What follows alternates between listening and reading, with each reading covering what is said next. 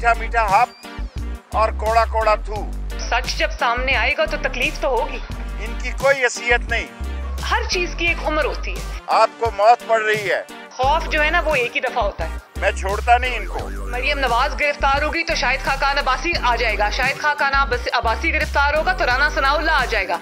आप बाहर निकले मुकाबला करें। एक झटका लगा तो ये हुकूमत एक झटके अगर सह नहीं सकेगी। दिसंबर जनवरी में झाड़ू फिर जाएगा। You scratch my bag I scratch yours मैं ऐसा पोस्टमार्टम करूँगा कि कोई आदमी मुझसे फिर गिला ना करे। स्याही तो आपके अपने चेहरे पे मली जाएगी। मैं ऐसा पोस्टमार्टम करूँगा कि सियासत जो है ज़मीन और आसमान के कलाबे मिल जाएँगे। बहुत अच्छी बात है।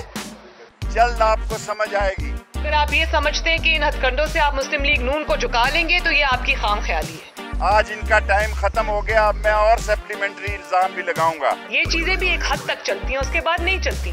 आर्टिकल सिक्स गद्दारी का मुकदमा दर्ज किया जाए। अपना मुकदमा खुद लड़ो अपनी लड़ाई खुद लड़ो हमें इस्तेमाल ना करो। इनके पेट में दर्द उठ रहा है। अपने से मामला मैनेज नहीं होते तो वो इदारों को आगे झोंक देता है। पाक फौज के बारे में जो जबान इस्तेमाल की गई है वो इस काबिल है कि बुद्धि से खींच ली जाए।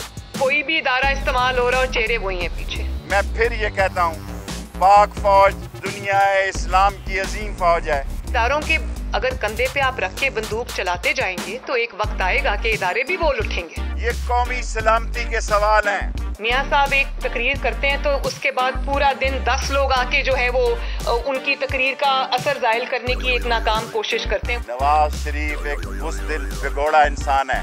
यहाँ से जरा खाली है। वो लंदन से बैठकर इमाम खमीनी नहीं बन सकता। मियाँ साहब को आप किसी से तशबीह नहीं दे सकते। मियाँ साहब मोहम्मद नवाज़ शरीफ है। एन आर ओ के भूखे लोग। क्या कुछ नहीं हुआ नवाज़ शरीफ ने सब अपने सीने पे लिया ये बुजदिलों का टूला है। रियासत की पूरी ताकत आपने नवाज़ शरीफ को और उसकी जमात को कुचलने में लगा दी। जेल से भगोड़े और अदालतों के फरारी। मियाँ साहब जो है वो लंदन से बैठ के लीड करेंगे।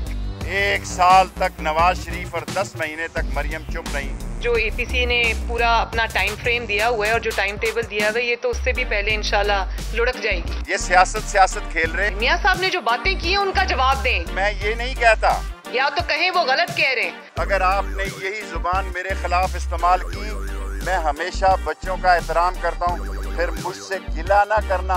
किसी से कोई बात नहीं होगी। अगर अपनी जंग लड़ेंगे तो आवाम के बलबूते पे लड़ेंगे अपने असूलों पे लड़ेंगे और दैट से इनको लग पता जाएगा।